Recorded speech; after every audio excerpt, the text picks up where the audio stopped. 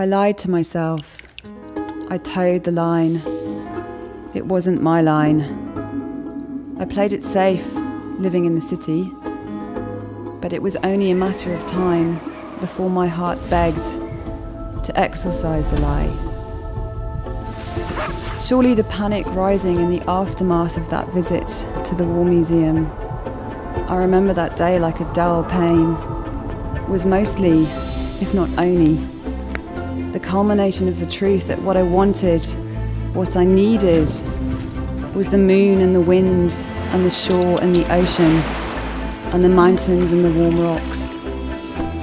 The heat and the softness of the sunshine, the peace and the rawness of the storms and the cold, the motion and the rhythm and the ebb and the flow of the tides and the wind of this glorious weather all around. This was my line, this is my line, that keeps me whole, that keeps me rooted, that gives me faith. This nature frames my world. It's a leitmotif, a compass, an anchor, a constant companion, a steady hand.